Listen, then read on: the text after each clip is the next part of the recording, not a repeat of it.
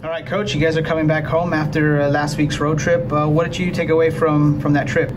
Well, number one, we're glad to be home. Uh, it was a long trip out to Seattle and uh, Utah Valley, but uh, or Salt Lake City, I should say. But uh, we did some good things. We got some younger kids some valuable experience, and we had a chance to win both those games. Just came up a little short. So, um, you know, we've had a lot of close games this year. I think nine games by five points or less, and we need to, to, to close these out. I mean, that's our goal here um, to finish out the season strong. And um, you know, New Mexico State coming in.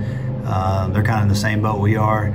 Uh, they've had a lot of close games and um, you know right around the same record. So that's it's a big game for both of us, and we're excited for the matchup. And what's going to be key to getting uh, the win against New Mexico State on Saturday? Rebounding. Uh, at their place, we lost in overtime by one, and uh, we got out rebounded by 16. So um, second chance points, we got to take away second chance points, and then uh, taking care of the basketball. You have three of the uh, next four games here at home. How how big is that for you guys heading down the final stretch? It's really big. Um, this this league with being a travel league. Um, you really got to take advantage at home. Uh, we've had a pretty good home slate this year.